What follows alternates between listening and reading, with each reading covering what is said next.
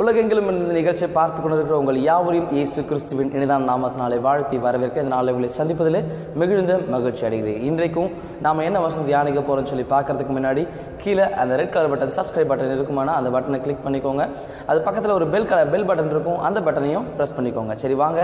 இன்னைக்கு நம்ம என்ன வசனம் தியானிக்க போகிறோம்னு சொல்லி பார்க்கலாம்.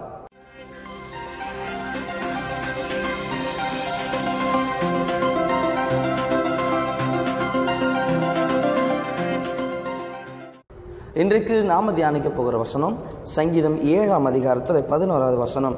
தேவன் நீதியுள்ள நியாயாதிபதி அவர் நாள்தோறும் பாவியின் மேல் சினம் கொள்ளுகிற தேவனா? அல்லேலூயா தேவன் நீதி உள்ள நியாயாதிபதியாக இருக்கிறார். அது மாத்திரமல்ல அந்த வசனம் அதோடு தொடர்ந்து அவர் பாவியின் மேலே சினம் கொள்ளுகிற தேவனாக இருக்கார் முதல் பகுதி நம்ம பார்ப்போம்.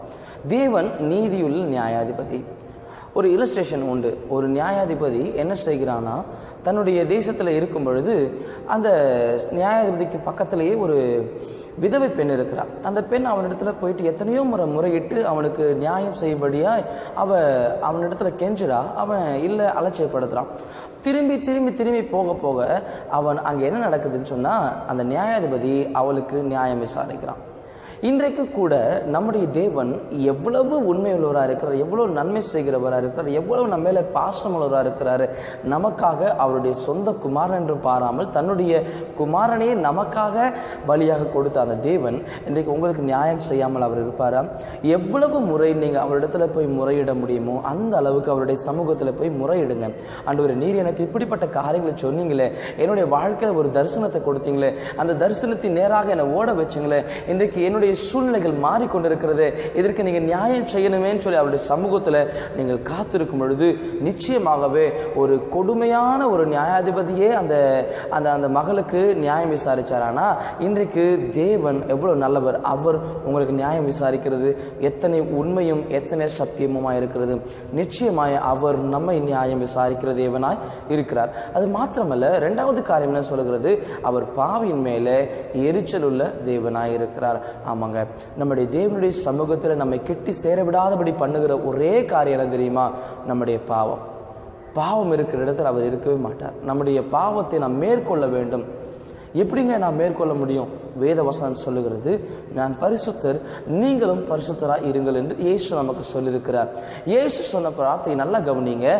நான் பரிசுத்தர் நீங்களும் பரிசுத்தராக இருங்கள். இன்னொரு இடத்துல சொல்லுகிறார் நான் இந்த சபையினுடைய தலையாயிருக்கிற இந்த ஜனங்கள் சபையினுடைய அங்கத்தினர்களாய் அதாவது பாகங்களாக இருக்கிறாங்க. சரீரமான இந்த சபை சபைக்கு தலை கிறிஸ்து. இன்றைக்கு கிறிஸ்து எப்படி இருக்கிறாரோ அதே போல தான் சரீரமும் இருக்கும். இந்த மூளை எதை யோசிக்கிறதோ அதுதான் இந்த சரீரம் யோசிக்கும். அந்த சரீரம் அதுதான் செய்யும். ஸோ இன்றைக்கு தேவன் அவர் பரிசுத்தராக இருக்கிறபடினாலே நம்மாவும் நம்மளாலையும் பரிசுத்தராக இருக்க முடியும் அப்படின்றதான் உண்மை. ஸோ அவருடைய வார்த்தையை விசுவாசிங்க அவருடைய வார்த்தைக்கு பற்றி கொள்ளுங்க. அந்த வார்த்தை சொல்லுகிற பிரகாரம் நடங்க. நிச்சயமாய் கத்தர் உங்களுடைய வாழ்க்கையிலே ஒரு மாற்றத்தை கொண்டு வருவார் பரிசுத்தமாய் நீங்கள் வாழ்வீர்கள் ஆனால் நிச்சயமாகவே தேவன் உடைய வாழ்க்கையில் ஒரு மாற்றத்தை ஏற்படுத்துவார். நல்லா கவனிங்க. ஒரு மனுஷன் விசுவாசத்திலையும் பரிசுத்தத்திலையும் பரிசுத்த ஆவியானவரை பற்றி கொள்வதிலையும் எந்த அளவுக்கு உண்மையாக இருக்கிறானோ அந்த அளவுக்கு அந்த மனிதனுடைய வாழ்க்கையில் அந்த மனிதனை சுற்றி இருக்கவருடைய வாழ்க்கையில் ஒரு மாற்றத்தை கத்தர் உண்டு பண்ணுவார்.